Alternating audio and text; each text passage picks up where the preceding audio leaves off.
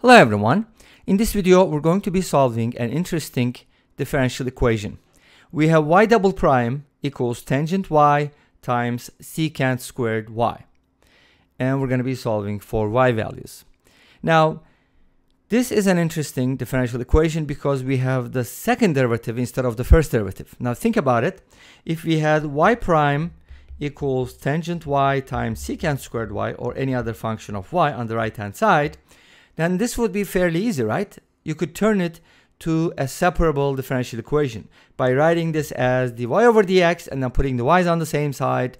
And then there's only dx on one side by the way which would be very easy to integrate don't you think? But we have the second derivative that really makes things much more complicated. Anyways so let's see how we can handle these kinds of problems. One thing that's really good about this problem is that tangent and secant squared are together. If they weren't, that would be a really more complicated situation. Anyways, let's start by using substitution. We're gonna go ahead and call this u, and you could basically call it anything you want, but I just wanted to call it u. So u is, I mean, u equals tangent y, and from here we're gonna evaluate u prime the derivative of u is going to be secant squared y, the derivative of tangent, multiplied by y prime. Because y is a function of x and we're differentiating with respect to x, we need to multiply by y prime as part of the chain rule. And you're like, what? We got another prime. Okay, it's good to get y prime though, even though we don't have it in the equation, do we? We don't have y prime, we have secant squared and we have tangent. Since we don't have y prime, why not bring it in? Multiply both sides by y prime. So we have y double prime equals tangent y times secant squared y. And now we're going to go ahead and multiply both sides by, let's go ahead and move this a little bit this way. We're going to go ahead and multiply both sides by y prime. So times y prime here and times y prime here. Now, the left-hand side might look like just the product of two derivatives, but it's actually somewhat special. But we're probably going to see it better if you multiply both sides by 2. In other words, I'm multiplying both sides by 2y prime, but I did it in two steps. Now here's what I'd like to do. I'm going to write this as 2y prime multiplied by y double prime, and the right-hand side as tangent y, or just 2 tangent y, times secant squared y prime. Now, what does this mean? Now think about the derivative of a function, which is going to be in this case x squared. What's the derivative of x squared? It's 2x, right? Of course, we're differentiating with respect to x all the time, unless otherwise stated. Okay, so x, this is easy. What about y squared? If you differentiate y squared, you're going to get 2y just like 2x, but you also have to multiply by y prime. Again, this comes from chain rule because we don't know what y is in terms of x. y is just a function of x. Uh-huh. This is the pattern we have. Look at that. Do you see what I see? C is my constant for the integration. So notice that on the left-hand side, we have the same pattern, except y was replaced with y prime and y prime was replaced with y double prime. And the same thing, something similar happens on the right hand side. By the way, I just kind of ignored the y prime here and just put it as part of the secant squared. I apologize. It should be like this. So we get the same pattern. We kind of have a function, two times the function, times its derivative, of course, derivative of the half, and then two times the function times its derivative. You know what that means? The left-hand side here, if you look at this very carefully and consider these two things, then you're going to realize, I'm hoping that you're going to realize that this is the derivative of y prime squared. So on the left-hand side, we have the derivative of y prime squared, and on the right-hand side, we have the derivative of, by the way, I could do this. I probably forgot to do that. Let me do it first, and then I'll write the derivatives. This one actually can be turned into, this is u, and this is du, right?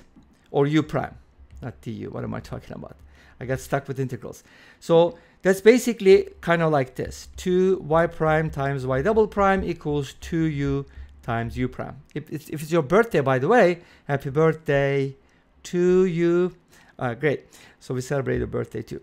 Now, again, this is going to be the derivative of y squared, right? The derivative of y squared. Not y squared, oops, sorry. It's the derivative of y prime squared. Okay, here we go. if you differentiate y prime squared, you're to get 2 y prime times the derivative of y prime, which is y double prime. That's where it comes from. Make sense? Okay, I'm confusing myself here. And on the right-hand side, you should have the derivative of u squared. That's easier because we only have u and u prime.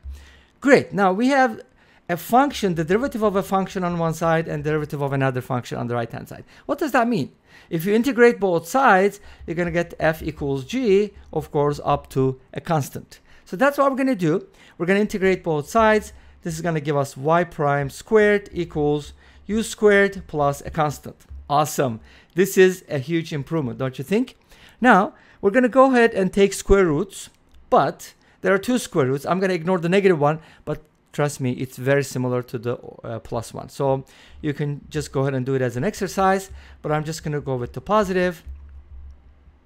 So y prime from here can be written as the square root of u squared plus c. Of course, we can't necessarily say that u squared prime u squared plus c is always positive because it depends on the values of c. If c was always positive, then we would know that yes, u squared plus c is always positive. Make sense?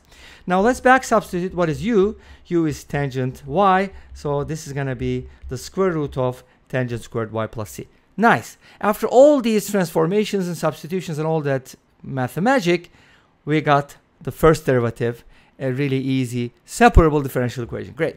Let's go ahead and write this as dy over dx and then set it equal to this one more time. And now we're going to put the y on the left hand side. That's going to give us dy over the square root of tangent squared y plus c, remember c is a constant, equals dx. And now we can integrate both sides and ta-da! you think that's going to be easy? Okay, you'll see in a little bit. But for simplicity's sake, such a nice word, right? We're going to suppose that c equals 0. Why? Because it simplifies our life. And again, we're going to make some assumptions. The square root of tangent squared can be plus minus, but I'm just going to take the tangent y because that's easier. And this is sine over cosine, or I can write it as cosine over sine. And guess what? This is actually ln, because if you call this something, this will be d something. Make sense? The derivative of sine is cosine. So this is basically ln of, again, I'm going to ignore the absolute value symbol and I'm not putting the constant because I'll put it on the right hand side. By the way, this constant is different from the integration constant. But that we got from the left hand side and on the right hand side we have the integral of dx which should give us the following ln of sine y equals x plus let's call that c1 and now we're gonna uh, e to the power both sides that's to give us sine y equals e to the power x plus c1 which is a e to the x times e to the c1 but e to the c1 is a constant. We can call that k. And now this is going to give us what? Sine y equals k times e to the x. And if we arc sine both sides we should get y equals arc sine or some people write it as sine inverse. I know some people don't like it because it looks like reciprocal but that's also pretty standard especially in the united states. But anyways this is more common arc sine k e x key k e to the x. Great. So we got a y value, but it's only for the simplest case c equals 0. What happens if c does not equal 0? Of course, you also have to consider that case. If c does not equal 0, then we kind of integrate this beast. And how do you integrate it? I'll show you some results, which are going to be pretty interesting, by the way. But if you integrate this, this is what I'm thinking. You could go ahead and set tangent squared y plus c equal to u, or maybe not, don't use u, let's use t because you already used u. And then if you set it equal to t, then from here tangent squared y is going to be t minus c or tangent y can be written as the square root of t minus c. And then we can kind of write y as arc tangent square root of t minus c. And then you could find the dy from here, which is going to be like, you know, 1 over 1 plus something squared, so on and so forth. Hopefully you can plug it in and uh, find the answer that way because you're going to have square root of t at the bottom which is fairly simple and hopefully everything else will work out. I haven't tried it but this is for you to work out. Let's go and take a look at some results from Wolfram Alpha. First of all, if you integrate this guy, oh, doesn't look that bad, does it? Uh, you can go ahead and get something like this. Hopefully you can work this out. Let me know if there's an easier way to get there. Tangent hyperbolic inverse. Are you serious? Anyways, that's the integral, thanks to Wolfram Alpha. And if you look at the solution in general, this is what it looks like. And c sub 1 obviously would be the coefficient that I call c, I guess, right? Anyways, this brings us to the end of the video. Thank you for watching. I hope you enjoyed it. Please let me know. Don't forget to comment, like, and subscribe. I'll see you next time with another video. Until then, be safe, take care, and bye-bye.